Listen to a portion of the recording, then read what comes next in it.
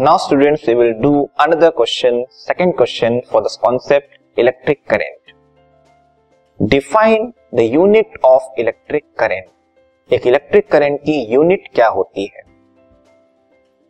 Answer is the SI unit of electric current is ampere which is denoted by capital A SI unit means standard international unit of current is ampere. How we can define ampere now? When one coulomb of electric charge flows through a cross section of a conductor in one second, then the electric current through the conductor is 1 ampere.